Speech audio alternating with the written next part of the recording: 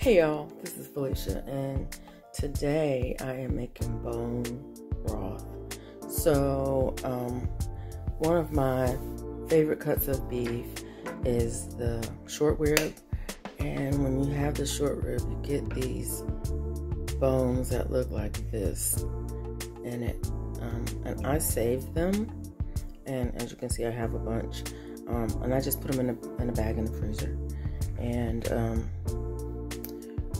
and periodically I will make some bone broth. So I took two quart bags out of the freezer. Well, one and a half quart bags of bones out in the freezer. There's some other, there may be a few chicken bones from chicken wings in here, and um, maybe a couple of bones from, I think there's just a T-bone or porterhouse bone from steak in there. But whatever bones I have, I throw them in the bags in the freezer, and periodically I'll take them out to make bone broth. So to make my bone broth, I use the slow cooker method. I put the bones in the slow cooker and then I cover them with water. Today I'm using um, filtered water.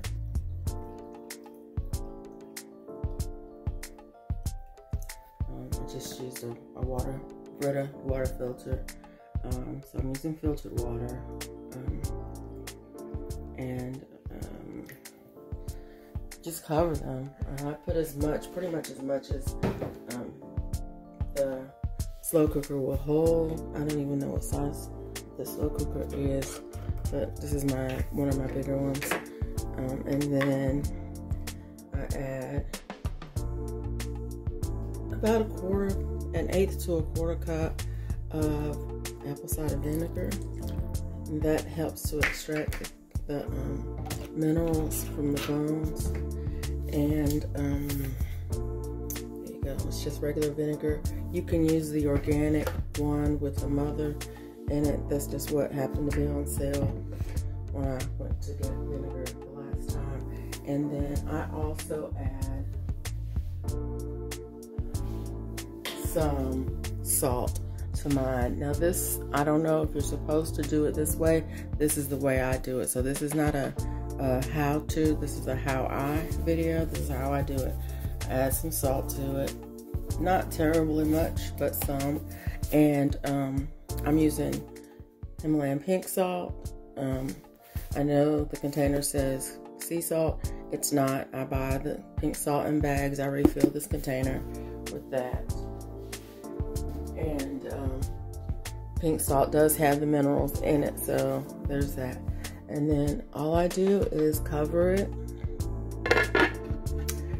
and um, turn it on low and let it cook for um, at least 12 hours.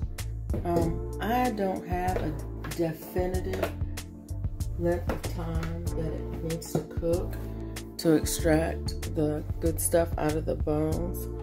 But yeah, let me move y'all down a little bit so you can see. But yeah, um, I turn it on low and set a timer for about 12 hours and then I will check it.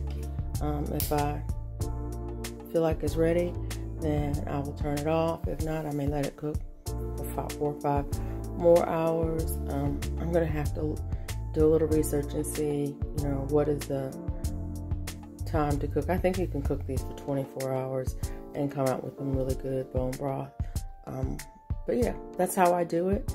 And um, once it's done, I'll jar it up and, and keep it in the refrigerator.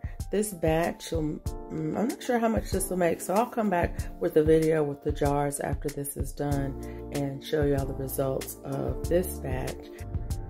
So this is the bone broth, the final product.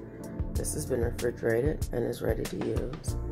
Um, as you can see, um, the fat fat hardens on the top, so it's easily taken off, and the consistency. Oh, it's solid.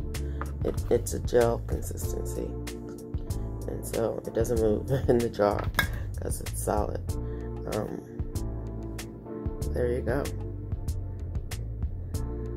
Thanks for watching the video. Um, please like, comment, share, and subscribe. But most of all, come back to see me. Bye now.